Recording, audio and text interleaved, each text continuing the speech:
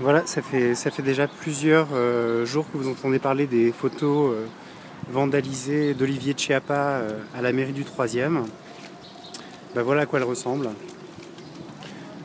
Donc ça fait trois nuits, je crois, que chaque soir, chaque nuit, des gens viennent vandaliser les photos, les déchirer. Ils ont même vandalisé un dessin d'enfant. Hop, donc là c'est la conférence de presse.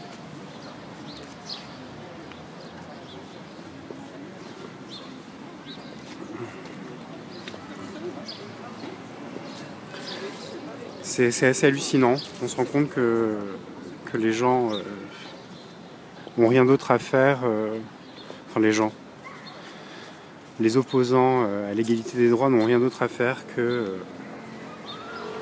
vandaliser de l'art, des dessins d'enfants, des représentations de l'amour, de la solidarité, puisque sur la plupart des photos, ce ne sont pas des homosexuels, ce sont des hétérosexuels qui manifestent leur solidarité à l'égalité des droits en, montrant euh, qu'il n'y a rien de dégradant, que l'amour c'est l'amour, que c'est beau et que euh, quand bien même euh, il serait homosexuel, cela ne changerait rien à qui il se.